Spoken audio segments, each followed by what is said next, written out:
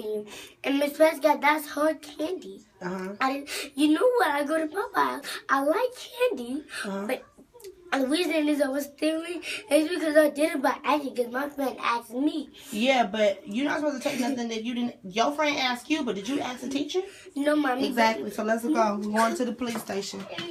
You think stealing is okay? I'm not. I promise. I promise. You promise what? I promise. I mean, you take off your shoes, relax, and I will, I will relax too. But you can spank me. You, you can do whatever. You can scream. You don't have to promise.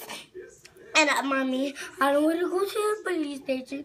Okay, so are you gonna? So are you gonna steal again? No, never again. Never, never. I'm going to cut that out and I'm going to decline.